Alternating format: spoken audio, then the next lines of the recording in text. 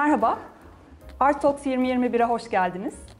Bugün çok değerli sanatçı, sanat yazarı Celal Binzet'le birlikteyiz. Hoş geldiniz hocam. Hoş bulduk. Bugünkü konuşmamızın konusu sanat-toplum ilişkisi ve sanat-toplum ilişkisi çerçevesinde kent olgusu üzerinden gerçekleşecek. Ee, bu bağlamda Ankara, Ankara'daki sanat ortamını bir zaman çizgisi içerisinde bugüne getirmeyi planlıyoruz. Ee, hocam öncelikle kent kavramı üzerinde durmak istiyorum. Kent olgusu ve kentli olmak e, nasıl tanımlarsınız, ne dersiniz? Ee, merhabalar. Öncelikle şunu belirtmem gerekli. Siz benimle ilgili sunuş yaparken e, benim öncelikli işim resimdir, ressamım. Evet. E, ama onun yanında sanatla ilgili yani sanatın kuramsal yanıyla da ilgilendiğim için ister istemez birbirini besleyen, birbirini destekleyen iki kanal üzerinden yürümeye e, çalıştım evet. diyebilirim. E, ondan sonra asıl konumuza dönecek olursak, kent olgusu insanlıkla birlikte var olan bir kavram. Denilecektir ki e, insanlığın ortaya çıkışıyla birlikte kent kavramı var mıydı? E, şüphesiz ki bugünkü anlamda bir kentten söz edemiyoruz. Ama e, insanların bir arada yaşamasıyla birlikte bir mekan kavramı ortaya çıkıyor. Yani o insanların yaşamını kolaylaştıracak, en azından barınma gereksinimlerini sağlayacak bir takım mekanların oluşturulması ve in, insan sayısı çoğaldıkça bu alanlarında giderek genişlediğini görüyoruz. Bu tabii ki zaman içerisinde sürekli evrimleşen bir oluşum. Bugünkü düzeye birdenbire gelmemiştir. Örneğin 500 yıl önce dünyanın nüfusu başkaydı, günümüzde başka. Ee, en azından o kadar uzaklara gitmeye gerek yok. Ee, yaşadığımız kent Ankara'ya bakıyoruz. Hı hı. İşte 50 bin, 100 binlik bir nüfus bugün 5,5-6 milyona dayanmıştır. Ve ister istemez bu büyüme e, alanların ve bu alanlarda kullanılan mekanların da genişlemesine evet. neden oluyor. E, yeni evler yapılıyor. Evet. O evlerin e, niteliksel değişimi ortaya çıkıyor. Yani eskinin tek katlı evleri yerine apartmanlar daha büyüyor, daha yüksek kavramlarla bir yapılaşma gündeme geliyor. Alanlar, caddeler e, ve ev dışında başka mekanların da yapılmasının e, gündeme geldiğini görüyoruz. Evet. İşte e, ne bileyim çok basitinden düşünürseniz ortak alanlar ortak alanlar, kamusal ortak alanlar, alanlar kamusal alanlar, ne bileyim hastane yapılıyor, evet. işte park yapılıyor, e, konser salonu, sinema gibi bir yığın e, yeni yeni kavramların ortaya çıktığını görüyoruz. Bu tabii bir kültürel dönüşümün sonucunda. Evet. Ee, kültür ve kent kültürünü yaratıyor yaşayan insan ve oluşum zaman içerisinde aynı zamanda bu kent kültürü bir sonraki insanı ve e, süreci de besleyerek karşılıklı bir etkileşim süreci içerisinde gerçekleşirken e, bu noktada e, sanatın rolüne dönecek olursak kent sanat ilişkisi bu iki önemli olgu, kavram ve birbirini besleyişleri üzerine ne söylersiniz hocam? Öncelikle genel çerçevede değerlendirip sonra Ankara'ya dönecek olursak. Ee, çok güzel bir giriş oldu bu. Ee, kent ve sanat ilişkisi gerçekten irdelenmeye değer ve her toplumun, sadece bize özgü değil, her toplumun kendine özgü bir sanat anlayışının evet. olduğunu geçmişten bugüne örnekleriyle biliyoruz. Ee, Ken Bynes'ın çok sevdiğim bir sözü var. Bu toplumda sanat e, yazarı. Der ki, e, madenciler işlerini yaparken denizciler gibi şarkı söylemezler. Çünkü maden ocağında insanların nefes almaya gereksinimleri vardır. Soluklanmaya gereksinimleri vardır. Dolayısıyla orada o sınırları belirli çizilmiş olan bir nefes sayısını şarkı söyleyerek tüketmezler der. Ama denizciler açık havada olduğu için işlerini yaparken hep birlikte şarkı söylerler. Onların ezgileri vardır kendilerine. Örneğin bizim Karadeniz'de heyamolalar vardır. Yani Bu çok güzel bir Kesinlikle. saptama. Ee, bu çerçevede her bir kentin de kendi ruhu, kendi kültürü ve elbette ki çevresi e, ve e, koşulları, coğrafi koşullarıyla yaşam yarattığı bir yaşam alanı var. Ee, ve bu da kimi zaman daha fazla nefes aldırabilen şehirlere dönüşürken, onları gözlemlerken kimi zaman da daha kapalı, daha iç mekanlarda yaşayan şehirleri e, gözlemliyoruz. Tabii ki sanat da her birinde farklı şekilde e, sunuluyor, kamusal alanda özellikle. E, Ankara için e, siz Ankara kültürünü, şehir, kent kültürünü ve sanat e, bağlamında bu konuda nasıl bir değerlendirme, e, temel olarak Ankara için ne gibi e, vurgularda bulunmak istersiniz? Şimdi her kültürün, e, her her kentin karşılıklı bir etkileşimi vardır. Ve bu etkileşim e, gerek politik, gerek ekonomik, gerek toplumsal yaşam bakımından çeşitlenir. Dolayısıyla e, bir kentte yaşayan insanların geçmişten gelen birikimler doğrultusunda oluşturdukları bir kültürel yapılanma söz konusu. O kültürel yapılanma e, aynı zamanda politik ve ekonomik koşullarla da beslenir. Bu beslenme, bu beslenme her zaman istenilen doğrultuda olmayabilir. Bazen Kesilebilir, bazen nefes kesilebilir, alamayabilir. bazen geriye dönüşler yaşanabilir gibi bir takım e, Hastalık dönemleri gibi değerlendirebilir miyiz Evet, bunları? Nefes evet. almada e, bir takım sıkıntılar, daralmalar gibi düşünebilir miyiz kent elbette içinde? elbette çünkü e, bir kent aynen bir insan gibidir. Bir insan bedeni gibidir. Onun farklı işlevler yüklenmiş bölümleri vardır. Bu tıpkı insanda olduğu gibi. Böyle olunca bu e, kentin e, Ankara'ya dönecek olursak Ankara'nın e, aslında çok köklü, çok zengin bir geçmişi olduğunu biliyoruz. Ve bu bu geçmişe baktığımız zaman onun farklı damarlardan beslenen bir yapısı var. Ki e, Ankara Kalesi bilindiği gibi yıllar önce arkeologlar araştırma yapmıştı. Örneğin Ankara Kalesi'ndeki taşların çok daha eski dönemlerden, Frikler dönemi, Hititler dönemi gibi farklı kültürlerin oluşturduğu bir yapı olduğunu. Ama bu zaman içerisinde değişim geçiriyor tabii. Bir kültür yeni geldiği zaman onun üstüne eklemeler yapıyor. Ee, örneğin bugün kale surlarında, kale o iç yapılarında eski Roma lahitlerinin üzeri yazılı parçaları var. Hala durur bunlar. Ee, bunun nedeni nedir? Çünkü e, Ankara Roma İmparatorluğu'nun Doğu eyaletleri başkenti.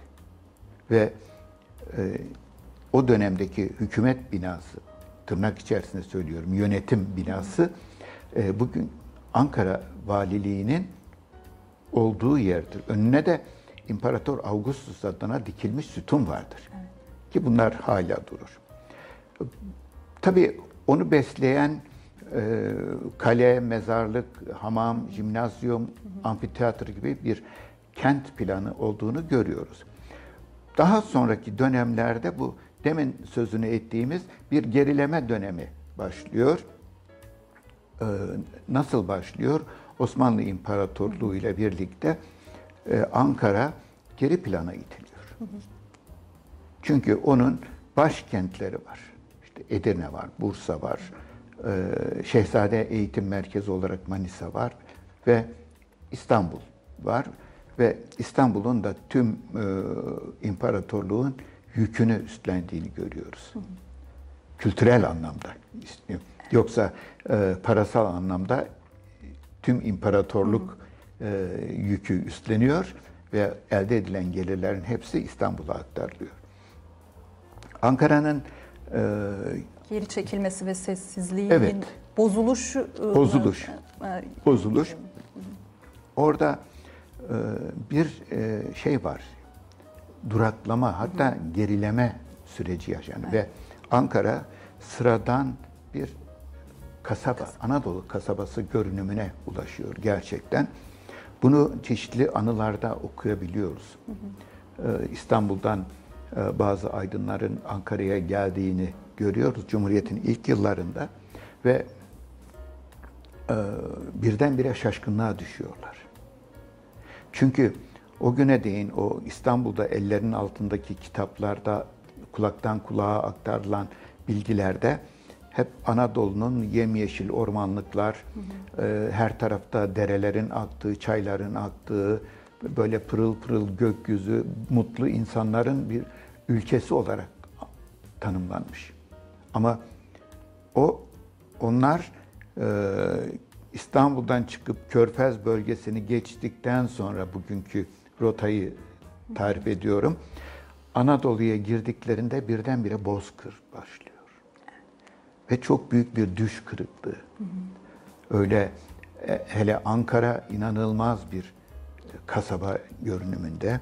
Yakup Kadri'nin Ankara e, kitabını bilirsiniz mutlaka. Orada iki bölüm vardır. Bir eski bölüm, bir yeni bölüm vardır. Ve e, Cumhuriyet bugünkü Cumhuriyet yönetimi, Atatürk'ün Ankara'ya gelişi, e, kentin bugünkü kimliğinin oluşmasında bir temel işlevi görüyor. Yeniden canlı. Yeniden, yeniden canlanıyor.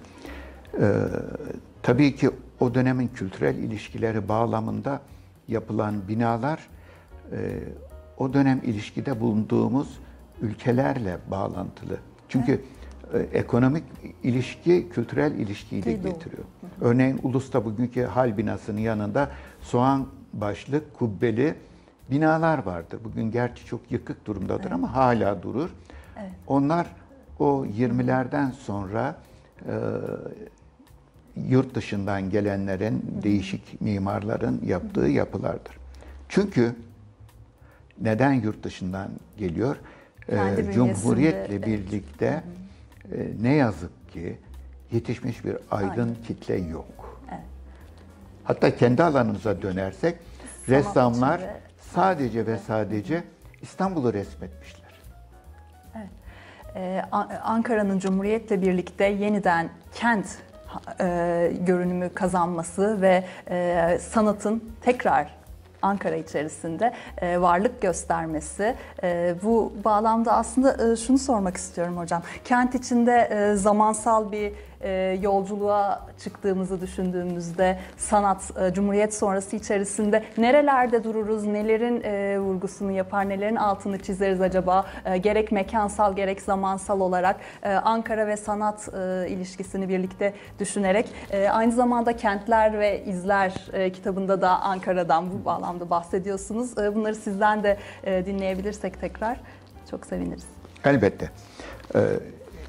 Demin söylediğim gibi bir dönüşüm Evet. noktasıdır Cumhuriyet ve onunla birlikte gerek bilim adamları, gerek sanatçıların Ankara'ya geldiğini görüyoruz.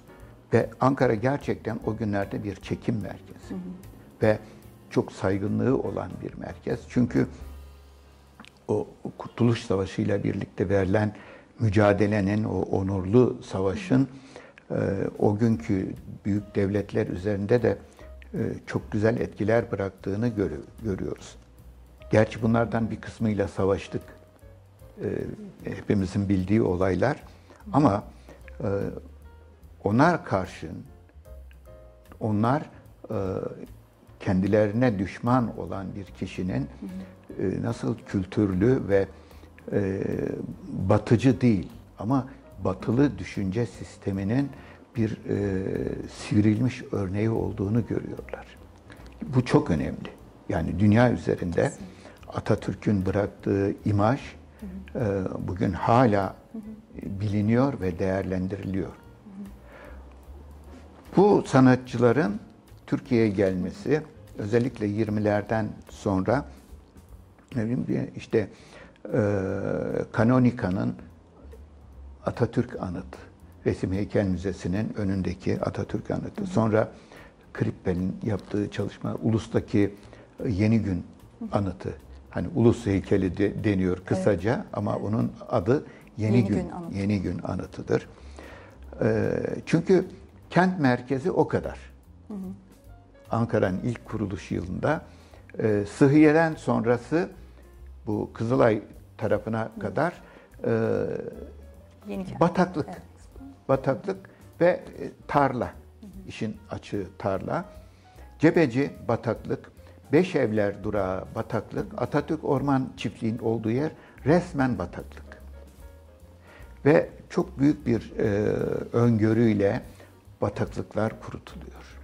Buralar yerleşim alanlarına açılıyor. Mesela bir e, İtalya'dan gelen bir heykel var o su perileri heykeli. Bugün e, kenara konmuş bir durumdadır. E, eski cer atölyelerin olduğu yerde. O heykel getiriliyor. Ve önce o o heykel e, Hacettepe'nin olduğu yere. Sonra Kızılay'a geliyor. Bugünkü Kızılay binasının olduğu konumda caddenin ortasını düşünürseniz oraya konuyor. Ee, sonraki dönemlerde uzunca bir süre sonra e, Tandoğan alanına konuldu. Sonra orada da müstehcen bulunduğu için e, bir çöplüğe atıldı. Yıllar sonra o çöplükten bulundu, restore edildi ve bugün bu e, Ulaştırma Bakanı'nın oradaki o CER atıyor yani bugünkü CER, CER modelinin bahçesine konuldu. Tekrar. E, Ankara hep heykellerle ve kamusal alandaki sanatla bir e, mücadele içerisinde oldu. E, yakın zamana kadar ve halen e, böyle olduğunu söyleyebiliriz belki. E, siz sanatın toplumla buluşması noktasında kamusal alan ve özellikle heykeller e, odağında e, bu konuyu nasıl değerlendirirsiniz? Dünyanın her kentinde heykeller vardır. Bu e, bazı yönetimleri bu, Evet. bunun dışında tutuyoruz. Özellikle e, radikal dönemlerde e, ya da radikal yönetimlerde e, bir heykel karşıtlığı olduğunu biliniyor. E, heykelin e, amacı, yapılış amacı e, kent bilinci, ortak bir bilinç, ortak bir e, kültürel yapılanmayı işaret etmesi açısından önemlidir. Oradaki bir heykel, e, bir anıt, oradan geçenlerin belleğinde yer eder. Ve onun çağrıştırdığı, onun çevresinde kümelenen bir kültürel yapılanmayı da insanların belleğine aktarır. Bu aktarma doğrudan doğruya bir aktarma değil ama e, görsel bellek, görsel bellek öyle bir özelliğe sahiptir ki zaman içerisinde yavaş yavaş beynimizde bazı kodlamalar yapar. Ve biz o o heykeller aracılığıyla belli bir düşünsel anlamda e, belli noktalara ulaşırız. Böyle bir özelliği vardır. Ve bu dünyanın her, Her yerinde yerinde böyledir. Her yerinde böyledir. Ee, ne bileyim işte en yakın komşumuzdan başlarız. Ee, Yunanistan'dan başlarız. Ta Amerika'ya kadar. Asya'nın birçok ülkesinde. E, bunları çok rahat görebiliyoruz. Sanatın e, herkesce ulaşılabilir, görülebilir ve dediğiniz gibi e, yaşantı içerisine dahil edildiği simgeler olarak da düşünebiliriz aslında heykelleri değil mi? Kentli insan için bir değer ve bir ortak buluşma noktasıdır söylediğiniz gibi. Bunun yanında müzeler de elbette ki öyle. Kent müzeleri ve Ankara'da müzeler bu noktada yine işaret edeceğimiz pek çok konu olabilir elbette. E, gerek Resim Heykel Müzesi'nin e, kuruluşu sonrasında e, yakın zamanlarda kapalı olduğu dönemler ve tekrar açılması bu noktaya e, gelmek istiyorum. E, siz e, nasıl değerlendirirsiniz Res- Resim Heykel Müzesi'nin geçirdiği süreci ve e, tabii burada da yine nefes almalar ve durmalar söz konusu sanat toplum ilişkisinde. E, sonrası için na- nasıl görüyorsunuz bu sürecin nasıl devam edeceğini ve Ankaralı sanatseverin e, sanatla buluşma koşullarında bir değişiklik olacak mı? Ne dersiniz? Sanat yalnızca resim, e, heykelden ibaret değil Evet. tabii ki. Bunu vurgulamamız gerekiyor. Ee, özellikle plastik sanatlar alanından söz ediyorsak, e, resim, heykel ve mimarlığı gündeme getirmemiz gerekiyor. Ee, heykelin, e, anıtların şu özelliği vardır, açık havadadır. Yani anıtın temel karakteristiği onun açık havada oluşudur. Onu görmek için özel bir alana gitmenize gerek yok. Yoldan geçerken e, önünden geçiyorsunuz. ister istemez belleğinize yer ediyor. Ulusa giden herkes onun Heykelde çevresinde buluşuyor. Bir evet. bütünleşme söz konusudur. Ee, bazısı çok anlamını bilmeyebilir ya da onun geçmişini bilmeyebilir ama o, orada bir şeyin varlığı var. Yani o o de- demin söylediğim gibi bir kodlama yapar insan beyninde. Onu çıkarttığınızda şehir boşluğa Evet. düşecektir. Evet. Ee, resim öyle değil. Evet. Resim ya özeldir. Yani siz alırsınız evinizde duvarınıza asarsınız. Siz görürsünüz. Ya da evinize gelen bir konuk görür. Ee, müzeler biraz daha farklıdır. Müzeler kamuya açık alanlardır. Ama kapalı mekan olduğu için oraya birinin girmesi gerekli. Bu konuda tabii bizim toplumsal bakımdan e, bir e, eksikliğimiz var. E, Müze gezme alışkanlığımız yok. Yani müze kültürümüz yok ne yazık ki. Ee, Sizin gözlemleriniz, iz- izledikleriniz zaman içerisinde bununla ilgili ne tarafa doğru gittiğini düşünüyorsunuz? Ankaralı e, sanatsever için e, yıllar itibariyle bir gelişme gösteriyor mu sizce? Yoksa geriye gitmelerden bahsettik. Burada da ciddi e, sıkıntılar e, yaşadığımızı düşünüyor musunuz? Müze izleyicisi, Evet, sanat Ankara izleyicisi adına. e, Ankara değil de Türkiye bir çalkalanma döneminde. E, Yani Siz umutlu musunuz? Yani Ee, genel anlamda e, umudu yitirmemek gerekiyor. Dante'nin bir sözünü anımsadım ben. E, tek kişi kalsan bile e, yoluna devam et diyor. Evet.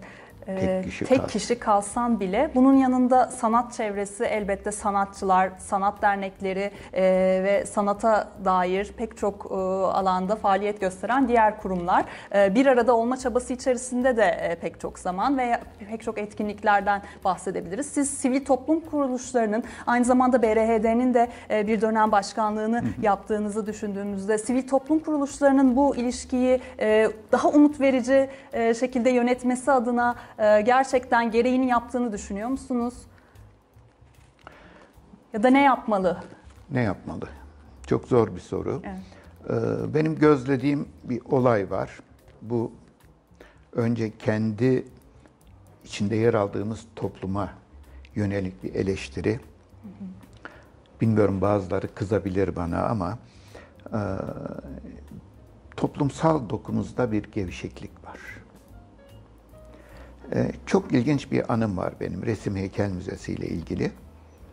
Yıllar önceydi bir gün. Ben fırsat buldukça gider gezerim. Yani gezdiklerimin sayısını bilmiyorum işin açığı. Hani mutlaka bir şey olması gerekmiyor. Dönem dönem giderim. Ee, Oradaki resimlere bakarım.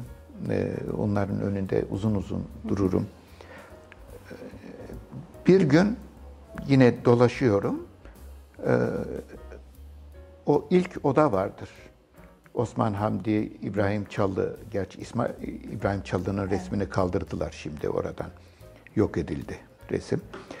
Ee, işte Süleyman Seyit e, vesaire, Halil Paşa gibi sanatçıların oldu.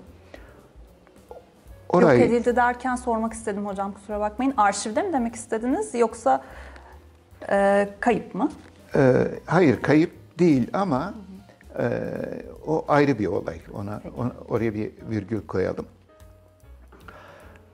Ee, o salonda geziyorum. Bir kadın girdi. Tanımıyorum. Ee, kapıda da müzenin görevlisi bekliyor. dolaşıyor. Kadın döndü bir o görevliye bir şey sordu. Yani konuşmaları duyuyorum tabii ki. Çünkü başka kimse yok. Ama ne sorduğunu dinlemedim. Sadece sesler duyuyorum. Ee, kadın bir daha sordu. Yani seslerden öyle anlaşılıyor. Ee, İkinci, üçüncü seferde o müzedeki görevli e, isterseniz dedi siz hocama sorun. Bir döndüm, benden başka kimse yok. Yani o kadın ve ben. Ee, kadın gel, tipinden belli ama yabancı bir kadın. ama Türkçeyi güzel konuşuyor. Ee, Osman Hamdi'nin resminin önünde durduk. Silah tacirleri resmi var. Dedi ki bu oryantalist bir resim ama Osman Hamdi Türk dedi. Niye oryantalist resim yapmış dedi. Ee, sonra yan tarafta aynı salonda yan tarafta Nazmi Ziya'nın resmi var. Bu dedi empresyonist dedi. Ee, niye empresyonist yapmış dedi. Ötekine döndü. Ama gerçekten resim bilen birisi diliyle konuşuyor.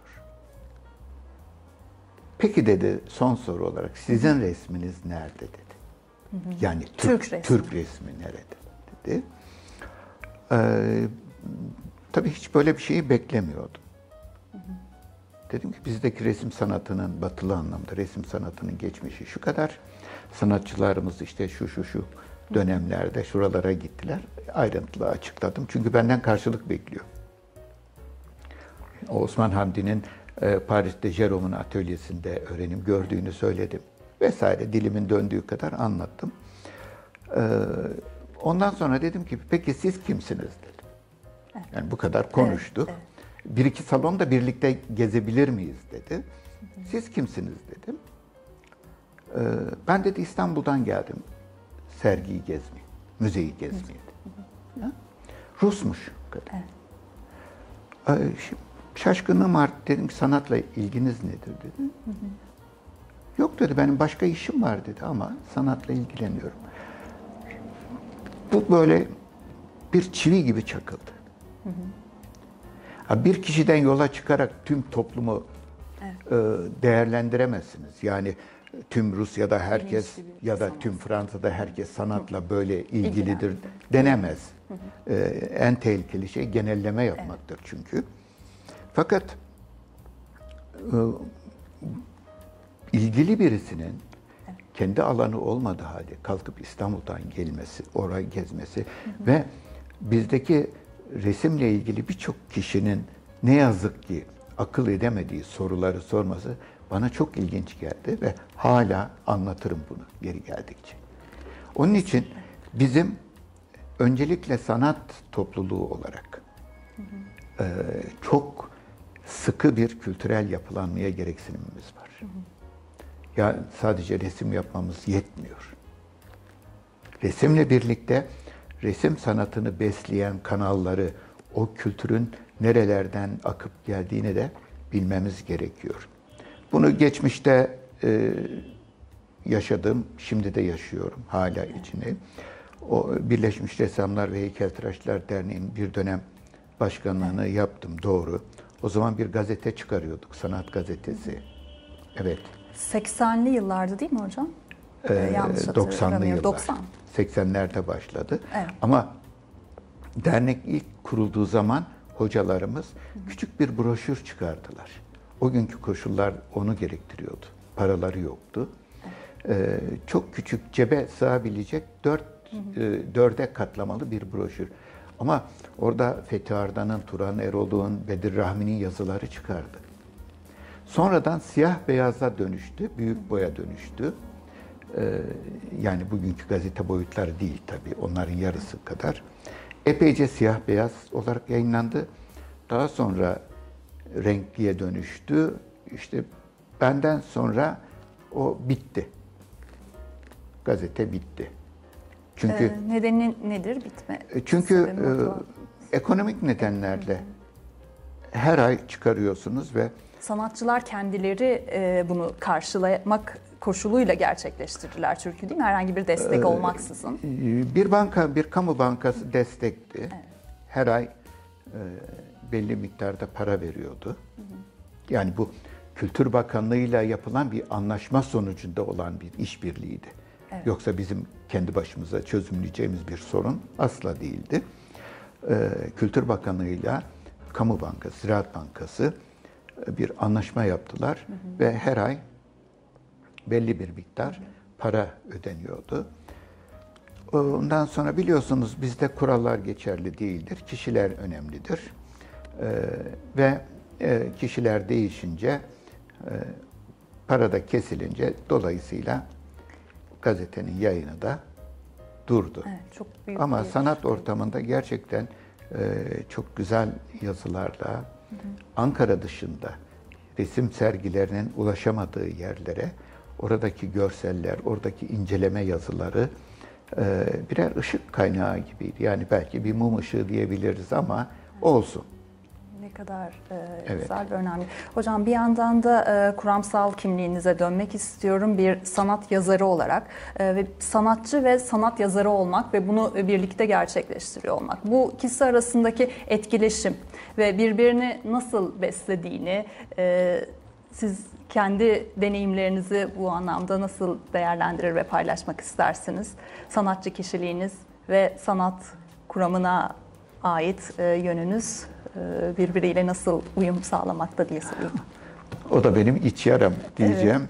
Ee, gerçekten e, zor bir iş ya da ya da benim için zor diyeceğim. Yani bilemiyorum başkasına kolay gelebilir ama e, sanki böyle kendime ikili bir yaşam sürüyormuşum gibi oluyor. Ee, gündüz sadece resimle ilgileniyorum ben. Gündüz e, yazıyla, araştırmayla asla ilgilenmiyorum. Ee, yazılarımı da gece yemekten sonra yemeğimi yiyorum, biraz dinleniyorum. Ondan sonra araştırma dönemi başlıyor. İşte kitaplar, yazılar. Tabii bu yeni değil. Yaklaşık e, 30 40 40 yıla yaklaşan e, bir e, sanat yazarlığı diyeyim. E, öyle bir e, yönüm ortaya çıktı. Hani bu işin içine girmek de zor, çıkmak da zor. Belli bir noktaya geldikten sonra çıkamıyorsunuz da. E, aşağı yukarı Türkiye'deki e, bütün büyük sanat dergilerinde yazılarım Evet. çıktı. Bunları e, daha sonra bir bir bölümünü topladık. Bir yayın evinden öneri gelmişti. E, bir bölümünü bir seçtik. Çirkinliğe ve Karanlığa İnat adıyla bir derleme yaptık. Arkasından e, ortak kitaplar oldu. Bu İstanbul'da e, olsun, başka yerlerde, özellikle ağırlıklı olarak İstanbul'da e, üç kişilik, dört kişilik ortak kitaplar, büyük boyutlu kitaplar oldu. E, derken e, işte gazetelerde haftalık 10 yıl her hafta sanat üzerine yazı yazdım. Hep bu e, çerçevede mi hocam? Gündüz resim, e, gece yazı. Hep böyle devam Evet, etti, hep böyle. O, o şablon değişmiyor. Ee, bir tek bir TRT'de iki yıl filan e, gündüz sanat programı yaptık. Evet. O zaman işte atölyeden çıkıyordum. Ee, o da haftalıktı. İki yıl her hafta e, gidip sanat programı yapıyorduk. Arkasından işte bu geçen yıl Mart ayında çıkan Kentler ve Kentler ve İzler, İzler. e, e, bu e, kent yaşamı deminden beri Cumhuriyet'ten bugüne Ankara'nın sanat politiği. politiği, Bugün de bahsettiğimiz evet, konuları da politiği. içeren. Bu bağımsız bir kitap. Yani Evet. önceki ayrı ayrı yazılardan oluşuyordu. Bu başlı başına bir kitap. Ee, işte şimdi yeni bir e, kitabımı bitirdim. Baskı sürecinde. Demin sözünü Evet. ettiğim, konuştuğumuz kitap yeni bir e, kitabın da duyurusunu yapmış olayım. O da e, ayrı ayrı bölümler halinde ama e, şöyle bir özelliğe sahip. E, sanat tarihindeki ünlü tabloların gerisindeki öyküler. Evet. Yine bu kültür, toplum, Kültür, politik, toplum, e, politik. ekonomik, e, elbette, siyasi elbette. Yani hepsinin gerisinde var. Hepsinin gerisinde ekonomik ve politik ilişkiler var. Elbette sanatsal ilişkiler var. Yani Evet. e, zaten sanat bunların hepsinin harmanlanmasıdır. Evet. Siz Ankaralı bir sanatçı olarak bu durumda tekrar kent ve sanat ve sanatçıyı bağladığımızda Ankara'nın izleri sizde, sizin resminizde nasıl yansıdı, nasıl değerlendiriyorsunuz içinde yaşadığınız çevrenin sizin üzerinizdeki etkisini? Tabii ki yaşadığım kent benliğimi oluşturuyor. Ama e, Ankara'nın e, bu son yıllardaki kentsel doku bakımından çok kötü. Bu özellikle yapılaşma aslında bu Türkiye'nin genel sorunu. Yani o e, tarihsel dokunun çok hızlı bir şekilde yok edildiğini görüyoruz. Evet. O, onun yerine biçimsiz beton yığınlarının dikildiğini görmek üzüyor beni. Ama yine de tabii ki benim resim çalışma yöntemim e, gittiğim yerlerden eskiz almaktır. Yani elimin altında defterim, kağıdım mutlaka olur. Oralardan eskizler alırım. Bunların e, yıllardan beri yaptığım bir alışkanlık benim. Onlar e, bazen doğrudan doğruya bir tabloya dönüşebiliyor, bazen dönüşmeyebiliyor da. Ama e, bunların hepsi iyisiyle kötüsüyle benim görsel bellek hazinemi besliyor. Evet. Yani bu herkes için böyledir. Mutlaka bir çalışmaya başlamadan önce onun bir düşünsel tasarımı vardır. Yani resim önce beyinde başlar diye bir söz var. Evet. Siz hangi üslupta çalışırsanız çalışın, önce beyninizde bir oluşum yaşıyorsunuz. İşte o oluşum bu yaşadığınız çevreden aldığınız etkilerin bileşimidir. Mutlaka. Bu bu etki bazen doğrudan birebir olur. Bazen çok Siner, süzgeçlerden evet. geçerek, çok Zamanla. süzgeçlerden geçerek, belki biçim değiştirerek, anlam değiştirerek oluşan bir tortuya da benzeyebilir. Evet. Ee, bu çerçevede acaba Ankara sanatçısını e, şey, Türkiye'deki başka bir şehirde yaşayan sanatçıdan ayrı tutar mısınız ya da tutmak gerekir mi? E, Şehir sanatçı ilişkisini biraz daha genellersek. Örneğin İstanbul sanatçısı ve Ankara sanatçısı arasında e, bir farklı değerlendirme yapma ihtiyacı hisseder misiniz? E, Yoksa böyle bir bakış açısı e, uygun değil midir? Ne dersiniz? Yok yani e, ayrım yapmak hoş bir şey değil ama tabii ki o kentte yaşayan Yaşam insanların e, ve sanatçıların bir etkileşimi söz konusudur. Birbirleriyle etkileşimi Evet. için ne söyleyebiliriz? Ee, doğal olarak birbirlerini destekleme ihtiyacında olan sanatçılar, sanat çevrelerinin e, farklı bir boyutta olabilir mi? Çünkü e, sonuçta e, bir başkent olarak Ankara'dan bahsederken bir yandan da ekonomik e, anlamda büyük bir İstanbul'dan bahsediyoruz. Bu çerçevede elbette farklı yönleriyle Ankara ve İstanbul sanat açısından farklı açılardan değerlendirilebilir ama Ankara'nın önemli olan bir özelliği var mı dikkatinizi çeken diye sormak istiyorum açıkçası. Evet, Ankara'nın e, biraz daha naif bir yaklaşımı olduğunu gözlemleyebiliyorum. Yani ben e, İstanbul'la da ilişkilerim var. E, onun için çok rahat kıyaslayabiliyorum ben. Şöyle bir şeyden söz edebiliriz. Biraz sanatta her alanda olduğu gibi sanatta da spekülatif yaklaşımlar var. Bunları gözlüyorum tabii ki ben. Yani o spekülatif yaklaşımlar bir ölçüde sanatı da etkileyebiliyor. Ama genel anlamda e, sanatın kendi varlığı vardır. Yani e, dönemlere göre e, değişen değerler mutlaka vardır. Bu her toplum için geçerli. Sadece Ankara'yı kastetmiyorum ben. Ama örneğin bir bir dönemde bir dönemde bu sonuçta bir arz talep sorunudur. Ve bu, bu sorun belli sanatçıları o, o talepler doğrultusunda resim yapmaya itebiliyor. E, isim vermek istemiyorum ama bu Farklı e, bunun e, inanılmaz derecede somut örneklerini biliyorum. Bu yanlış bir şey. Yani sanat bir moda değildir. Bunu hepimiz biliyoruz. Ee, moda modanın özelliği nedir? Bir dönem değerler sistemi içerisinde yer almasıdır çoğunluk tarafından. Ondan sonra yeni bir değerler sistemi karşısında Yıkılması. kaybolmasıdır. Evet, değer sizde. Evet. Sanat akımları böyle değildir ama. Yani sanat akımlarına baktığınız zaman belki o akım bir zaman içerisinde kalmış Olabilir. olabilir ama sanat tarihinde vardır. Yani Ee, izle- doğal ve kendiliğinden ve gerçekten oluşması Evet. bunun en temel e, ayrımı olabilir mi? Tabii ki, tabii ki. Yani e, empresyonist akım 19. yüzyıl Fransa'sında başlamış ve bitmiştir. Hadi 20. yüzyılın başları diyelim. Ama empresyonist sanat e, bazılarına göre bugün e, bitmiştir.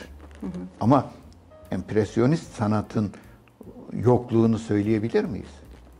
Bugün bütün dünyada kabul edilen bir şey. Ya da ne bileyim Rönesans sanatı Tarihe iz bırakmak. iz bırakmıştır. Yani sanatın sanatın tarihi içerisinde yer olmak başka. Geçici bir şekilde- günlük e, spekülatif Kaygılar, değerlerle yön değiştirmek başkadır. Özellikle de bu değerler daha çok kültürel değerden öte ekonomik değerler olur ise bunun zaten e, bağlantısını kurmak gerçekten e, çok e, kolay olmayacaktır sanatla. Tabii. E, bir yandan da bu dönemlerden bahsettik. İçinde yaşadığımız bu e, normal dışı e, diyelim pandemi sürecine ve bu döneme geldiğimizde e, elbette bütün e, dünyayı ve ülkemizi ve sanatçıyı ve pek çok alanı etkiledi. E, sizin görüşleriniz bu konuda pandemi sanat ilişkisi ve nereye götürecektir insanlık düşüncesini diye sormak istiyorum. Ne dersiniz? Evet salgın e, ben salgın diyorum. Evet, Türkçesini evet, doğru. kullanıyorum. Öyle demek Ee, lazım. salgınlar dünyanın bir gerçekliği. Ee, Şöyle bir baktığımız zaman e, bilinebilen e, Roma İmparatorluk döneminde başlayan böyle tarihte iz bırakmış büyük salgınlar var. Ee, Sonra 14. yüzyılda e, İtalya'da başlayan, İspanya'da başlayan salgınlar var. Ee, 16. yüzyıl, 17. yüzyıl, 18. yüzyıl, 19. yüzyılda mesela bizde çok söylenmez. İstanbul'da veba salgını var. 1800'lü yıllarda binlerce insan ölmüştür. Ee, tabii ki bu salgının, bu salgınların toplumsal yaşamı etkilememesi mümkün değil. Başta ekonomik bir çöküntü yaratıyor. Başka toplumsal çöküntü yaratıyor. Çünkü insanları tecrit ediyor. Yani e, birbirinden uzaklaştırıyor. Toplumsal ilişkileri sıfırlandırıyor. E, Bunlar yaşıyoruz. Evet, evet. E, bu- Bugün çok açık bir şekilde yaşıyoruz. E, Psikolojik bir takım sorunlar yaratıyor. Özellikle bu dönemde artan intiharlar var bakın. Gazete sayfalarından okuyoruz. Ee, başka bir olaya değineceğim. Her dönem kendi sanatını da üretir. Evet. Örneğin e, İtalya'daki e, veba salgını çok büyük bir edebiyat eserini yaratmıştır. Hocam elbette bireysel e, çabalarımız ve e, bireysel gelişim, varoluş çabaları devam ederken bir yandan da sanat ortamının canlı tutulması adına belki kurumsal e, olarak da sanatın desteklenmesi ihtiyacı olabilir. Bu noktada farklı sanat alanının, sektörün farklı aktörlerinin de bunlarla ilgili de belki beklentilerimiz olabilir diye düşündüm. Örneğin siz bu noktada devletin veya özel kuruluşların sanata, sanatçıya verdiği e, destekleri yeterli buluyor musunuz e, bu durumda? Tek sözcükle hayır. Çünkü görüyoruz. Yani devletin e, sanatta bakışı belli. Bunun e, rakamsal istatistikleri de var. E, bugün e, çağdaş dünyada e, ki örnekleri biliyoruz. O devletlerin sanata ne kadar yatırım yaptığını, sanatın sanatçıyı nasıl desteklediklerini görüyoruz. Bizde verilen e, desteklerin ve yani parasal desteği dışında bir de destek vardır. Yani moral açıdan, evet. değer açıdan bir destek vardır. Bunlar e, ne yazık ki istenilen düzeyde değil. Bireysel bir takım şeyler olabilir ama e, bizim amacımız toplumsal bakımdan yani sanatın toplumda yaygınlaştırılması, sanat hem devlet ve hem de özel kuruluşlar ara- arasında e, bu iletişimin e, yoğunlaştırılması gerekiyor. Sanat kurumlarına düşen işte yine bu bağlamda sanatı e, daha canlı, daha e, dinamik bir duruma taşımalardır. Tabii ki bunun rolü de demin söylediğim gibi tek tek bireylerin e, kendilerini bu alan üzerinde yoğunlaştırıp e, bir dinamizm sağlamalarına. Çünkü sonuçta dernek dediğiniz soyut bir kavramdır. Ama E, onu oluşturan insanlar- bireylerin e, hem bireysel sanat sorunları hem günümüz toplumdaki e, sanatsal kuruluşların kavramsal önemleri bakımından neler içermesi gerektiğini vurgulamaları gerekecek. Kesinlikle. Yani e, evet kurumsal dedik ama bu kurumlardaki yöneticilerin ve e, insanların, toplumun, her bir bireyin tek tek sanat ihtiyacını hissetmesi öncelikli ki bütün bunlar bu ekosistem birlikte çalışıp e, gelişebilsin. E, bu anlamda dileriz ki e, zaman içerisinde ve e, bu zamanı da tabii ki isteriz ki en hızlı şekilde olsun. E, sanat eğitiminin ve sanat ihtiyacının, e, sanat bilincinin toplum içerisinde yaygınlaşması ve e, sanatın gerektiği şekilde desteklenmesi e, diyerek e, bitirmiş olalım. Çok teşekkür ediyorum hocam. E, Ben teşekkür ediyorum. Sana ayrıca teşekkür borçluyum. Çünkü e, sanat adına iyi şeyler yapıyorsun, güzel işler yapıyorsun. Amacımız hep birlikte sanatı bugünkü düzeyinden daha farklı, daha iyi bir konuma yükseltmek. Hepimize kolay gelsin. çok teşekkürler hocam. Çok sağ olun. Tekrar teşekkürler. Elimizden geldiği şekilde yapmaya çalışıyoruz. Görüşmek üzere, teşekkürler.